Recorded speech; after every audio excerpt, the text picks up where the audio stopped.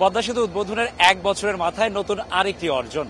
পরীক্ষামূলকভাবে চালু হচ্ছে পদ্মা সেতু কেন্দ্রিক রেলওয়ে নেটওয়ার্ক, যার মাধ্যমে দক্ষিণ পশ্চিমাঞ্চলের একুশটি জেলার মানুষের স্বপ্ন পূরণের পাশাপাশি পূর্ণতা পাচ্ছে স্বপ্নের পদ্মা সেতুও। যুগান্তকারী সেই ঘটনার সাক্ষী সময় সংবাদ, ঢাকার কমলাপুর রেলওয়ে স্টেশন থেকে আমাদের গন্তব্য ফরিদপুরের ভাঙা স্টেশন।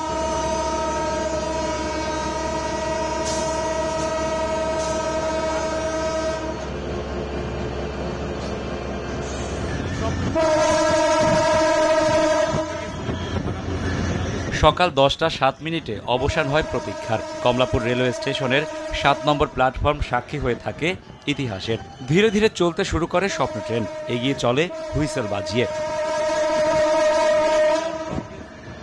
শহুরে মানুষ তখন কর্মব্যস্ত। তবু সম্পূর্ণ নতুন আটটি বগিরের ট্রেন চোখে পড়তেই হাত নাড়িয়ে অভিবাদন জানান। সাধুবাদ জানান সরকারের এই মেগা প্রকল্পের অগ্রগতিকে। বাড়ির ছাদে বসেও দেখা যায় মানুষের হাস্যোজ্জ্বল মুখোচ্ছবি। প্রত্যেকটি ক্রসিংয়ে ছিল শত শত মানুষের অপেক্ষা। এই অর্জন একক কারণ নয়, এই অর্জন প্রত্যেকের ব্যক্তিগত। ইট পাথরের নগরী ঢাকা ছেড়ে ট্রেন প্রবেশ করে মুন্সীগঞ্জ। অনিন্দ সুন্দর প্রাকৃতিক পরিবেশকে পাশ কাটিয়ে ছুটে চলে দুর্বার গতিতে। খানিক বাদেই চোখে পড়ে আরেক অর্জন, জাতির পিতা বঙ্গবন্ধু শেখ মুজিবুর রহমান মহাসড়ক। দুটি উন্নয়ন প্রকল্পের সৌন্দর্য দৃশ্যমান হয় একই সঙ্গে। যাত্রাপথে নির্মাণ শ্রমিকদের আনন্দও ছিল চোখে পড়ার মতো। কিছুক্ষণের জন্য কাজ ফেলে হাতে পতাকা আর মুখে জয় বাংলা ধ্বনি তুলে উদযাপন করেন নিজেদের অর্জন। পরীক্ষামূলক এই যাত্রা নিয়ে উচ্ছ্বসিত ছিলেন চালক ও প্রকৌশলীরাও। আমরা নিয়ে যাচ্ছি পদ্মা সেতুর ওপর দিয়ে যেটা সারা বাংলাদেশের সবারই স্বপ্ন ছিল। তো আমার অনুভূতিটা আমি আজকে ভাষায় প্রকাশ করতে পারব না। স্বপ্নের একটা পদ্মা সেতু ছিল। সের উপর দিয়ে আমাদের একটা ট্রেন যাচ্ছে অফিসিয়াল আজকে প্রথম ট্রায়াল রান হচ্ছে। আমরা প্রত্যেকে আনন্দ বোধ করছি, পাশাপাশি অনেক গর্ববোধ করছি। এগারোটা বিশ মিনিটের দিকে ট্রেন পৌঁছায় মাওয়া স্টেশন।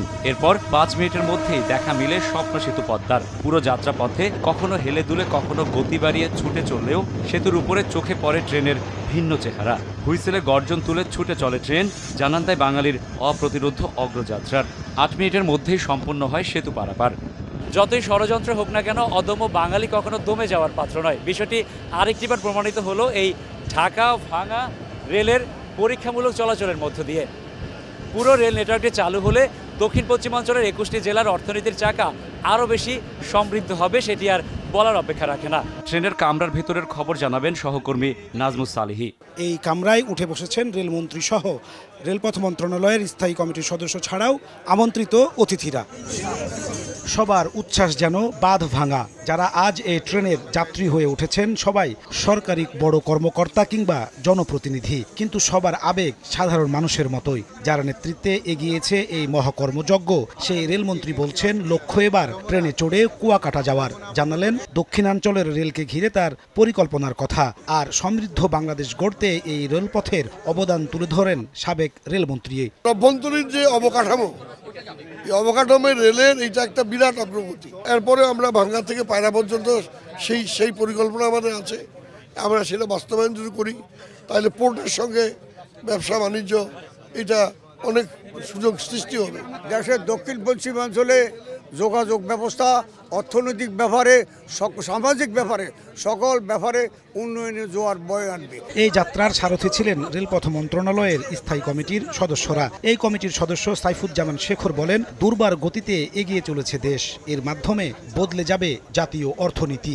একই প্রত্যাশা স্থায়ী কমিটির সভাপতি ফজলে করিম চৌধুরীরও। রেলের যে বৈপ্লবিক পরিবর্তন সেটা আজকে একটি আমরা যে যাচ্ছি পদ্মা সেতুর উপরে দিয়ে, স্বপ্নের সেতুর উপরে দিয়ে, এটা মানুষ কখনো ভাবতে পারেনি যে গতি আসছে।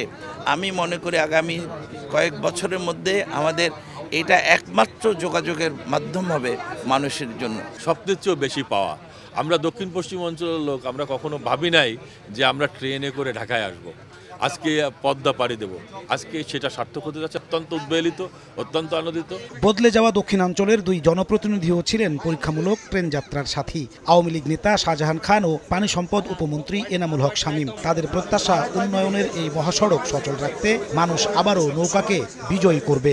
একদিকে আমাদের শিল্প উন্নয়ন হবে পণ্য সামগ্রী যাতায়াত নেওয়া আনার জন্য সুবিধা হবে। আমাদের যে শিল্পাঞ্চল গড়ে উঠছে দক্ষিণাঞ্চলে সেই শিল্পাঞ্চলের যে পণ্য সামগ্রী সেটা তারা নেওয়া আনা করতে পারবে। পশ্চিমাঞ্চলের মানুষের জন্য একটি স্বপ্ন পূরণের দিন। পদ্মা সেতু সেই সেতুতে করে আমরা রেলগাড়িতে যাব এটা এক সময় খুবই একেবারে স্বপ্নের বিষয় আমাদের ছিল এখন সেটা বাস্তব। আগামী দশ অক্টোবর প্রধানমন্ত্রী শেখ হাসিনা আনুষ্ঠানিকভাবে উদ্বোধন করবেন দক্ষিণের এই স্বপ্নদুয়ারের। মাত্র দুই ঘণ্টার একটু বেশি সময় নিয়ে ট্রেন এসে পৌঁছে গেছে ফরিদপুরের ভাঙ্গা জংশনে। ভাঙাবাসীর অপেক্ষার অবসান ঘটে বেলা সোয়া বারোটার দিকে। রাজধানী থেকে পদ্মা সেতু অতিক্রম করে ট্রেন ভাঙায় পৌঁছাতেই উচ্ছ্বাসে ফেটে পড়ে সাধারণ মানুষ। ট্রেন থেকে রেলপথ মন্ত্রী সহ অন্যান্য অতিথি ও যাত্রীদের বরণ করা হয়। এরপরই ভাঙার আকাশে রং বেরঙের আতশবাজি আর অসংখ্য বেলুন। শরতের নীল আকাশের মাঝে সাদা মেঘের ভেলার সাথে সব একাকার। এরপরই রেলপথ মন্ত্রী নির্ধারিত মঞ্চে প্রেস ব্রিফিং করেন। রেলপথ মন্ত্রী বলেন, আগামী দশ অক্টোবর প্রধানমন্ত্রী ভাঙা পর্যন্ত অংশের উদ্বোধন করবেন।